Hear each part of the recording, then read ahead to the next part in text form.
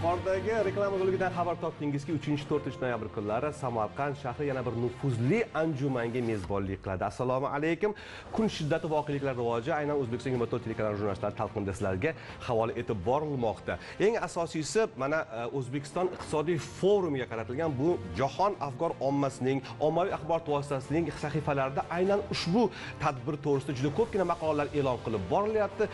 To'g'ri gap ham shundayda. Bugungi suhbatdoshimiz aynan samariddin ishquvvatovich ilmirzayev bilan birgalikda shu haqida gaplashamiz. O'zbekiston bank moliya akademiyasi kafedra mudiri iqtisod fanlari doktori professor. Assalomu alaykum xush kelibsiz. Assalomu alaykum rahmat. Mana e, biz yuqorida e, aynan start berilishiga bir necha daqiqalar e, bor bo'lgan forumni sharhlashga o'tamiz. Undan oldin esa uning biz aynan mavzusini diqqatga sazovorligini ham eslatib o'tamiz. U bo'ladigan bo'lsa inson manfaatlarini iqtisodiy islohotlarning bosh mavzusiga aylantirish deb nomlangan. Keling avvalgi ya'ni birinchi iqtisodiy forumga bir nazar tashlaymiz. Unda ko'tarilgan masalalarning ijrosi qay darajada amalga oshirildi va so'ng mana shu ikkinchi e, start olishi e, belgilangan forumga ham aynan diqqat markazimizni aynan e, bunga yo'naltiramiz. Rahmat. Bu jarayonda haqiqatda ta'kidlash kerak. Bu mazkur forum aynan o'zbekiston iqtisodiy forumi samarqandda o'tkazilayotganda bu ikkinchi forum hisoblanadi. Birinchi forum bir yil oldin toshkent shahrida o'tkazilgandi va undagi ahamiyatli jihat e, avvalambor harakatlar strategiyasini kelib chiqqan holda mavzu tanlangandi. Ya'ni o'zbekiston iqtisodiy islohotlar sarhisobi va istiqboli. Bu jarayonda aynan o'zbekistonda dastlabki besh yil davomida amalga oshirilgan islohotlar va ularning natijasi bo'yicha butun jahon afkor ommasiga demak keng demak islohotlar bo'yicha batafsil ma'lumotlar berilgandi. Ma'lumotni berishdan tashqari bevosita endi xalqaro moliya institutlari rahbariyatining xalqaro tashkilotlar banklar auditorlik kompaniyalari konsalting tashkilotlarining o'zbekistonga bevosita tashrifi orqali islohotlar bilan bevosita tanish imkoniyati yaratib berilgandi. Va bu imkoniyat natijasida ellikdan ortiq bevosita iqtisodiy shartnomalar imzolangandir. Qaysiki o'zbekistonda islohotlarni yanada yanada jadallashtirish maqsadida. Birgina misol keltiraman. Qoraqalpog'iston respublikasida shamol energetikasi bo'yicha saudiya arabistonining akfa power kompaniyasi tomonidan yangi loyiha boshlandi. Bu loyiha demak bir yuz sakkiz million aqsh dollari miqdoridagi loyihani tashkil etadi va yuz megavat kilovat soat demak quvvatga ega bo'lgan shamol elektr stansiyasi qurilishining aynan shu forumdan keyin boshlanishi birinchi forumdan keyin boshlanishi. Mamlakatimizda ham yashil iqtisodiyotni rivoj- rivojlantirishga ham infrastrukturani rivojlantirishga xizmat qilishini alohida ta'kidlashimiz lozim. Bu birgina loyiha. Bundan tashqari demak o'sha e, amerikaning coca cola kompaniyasi vakillarining ishtirok etishi va u jarayonda o'zbekistondagi keng ko'lamli xususiylashtirish jarayonlariga ularning ham jalb qilinishi shuningdek fransiyaning rotschild kompaniyasining demak xususiylashtirish jarayonlariga faol jalb qilinishi xalqaro auditorlik kompaniyalarining demak ham forumni bevosita ishtiroki ham o'zbekistondagi iqtisodiy islohotlarda xususiylashtirish jarayonlarida turli baholash funksiyalari bilan konsalt tashkilotlari bilan faol ishtiroki butun demak bir global brend nuqtai nazaridan o'zbekistonning bir tabiiy reklamasiga ham xizmat qilganligini ta'kidlab o'tishimiz lozim va shu boisdan birinchi forum o'z kutilgan natijani albatta berdi. Biz endi e, yuqoridagi e, fikrlarni yanada kengaytiramiz.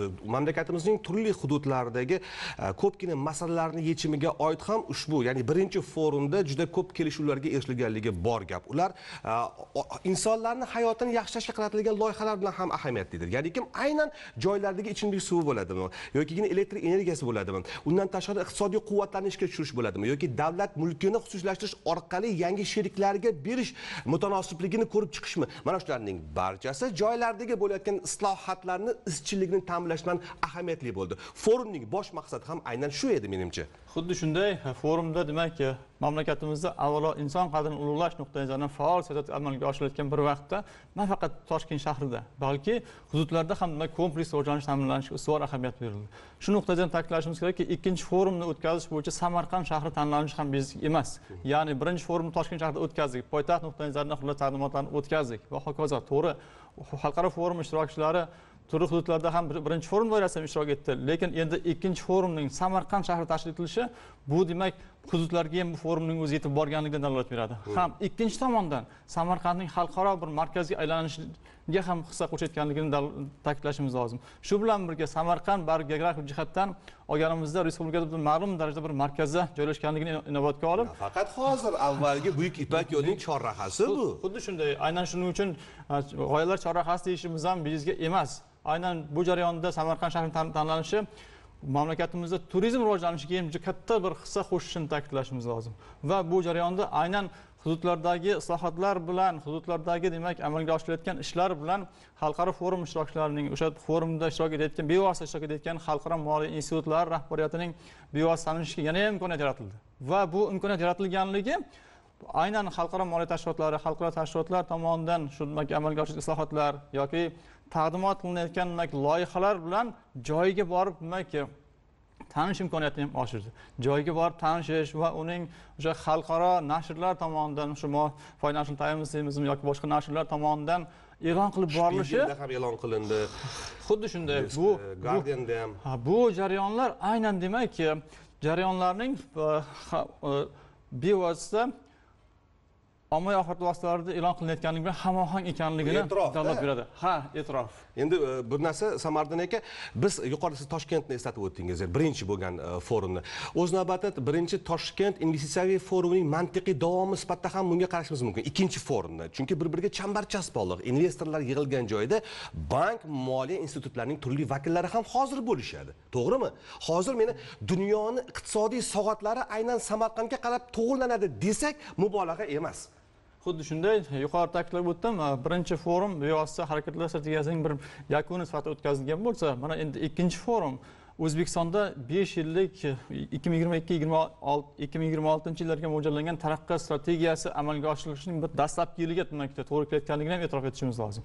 Va bu jarayonda xalqaro bank moliya institutlarining bir taklif qilinishida ham bir albatta demak asos bor. Asos shundaki biz aynan xalqaro moliya institutlari bilan faol hamkorlik qilgan holda xalqaro kompaniyalar xalqaro banklar bilan faol hamkorlik qilgan holda mamlakatimizdagi investitsion bir potensialni imkoniyatlarni ularga namoyon qilishimiz shart. Va namoyon qilish orqali aynan o'sha jahon banki tomonidan loyihalar amalga oshirish mana xullasmi oxirgi yillarda olti milliard atrofida tashkil qilyapti amalga oshirilayotgan loyihalar.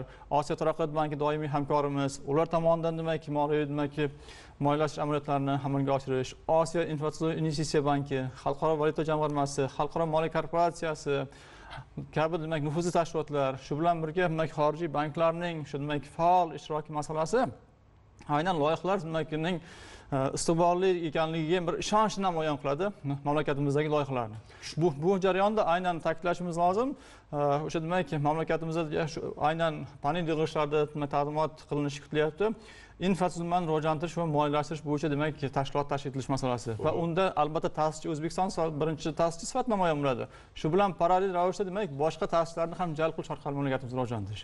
Parallel ravishda aynan b- bank moliya institutlarini jalb qilish orqali bir ikkinchi jihatlar ham. Misol uchun o'zbekistonda aynan xususiylashtirish jarayonlarini jadallashtirish uchun o'sha o'zavto motors aksiyadorlik jamiyati e, o'zbekiston metallurg kombinati aksiyadorlik kompaniyasi o'zbek neftigaz qishloq qurilish bank kabi demak e, aksiyadorlik jamiyatlarimizning banklarimizning aynan e, aksiyalarni ommaviy joylashtirish bo'yicha taqdimotlarni ham demak mazkur demak forumda joylashtirish to'g'risida gap ketyapti to'g'rimi? Ha forumda demak o'tkazish masalasi qo'yilyapti. Bu jihatlar ham aynan moliya institutlarining mamlakatimizga qiziqishini bevosita namoyon qiladi to'g'ri ular demak o'zbekistonga kelguncha tahlillarni amalga oshirgan.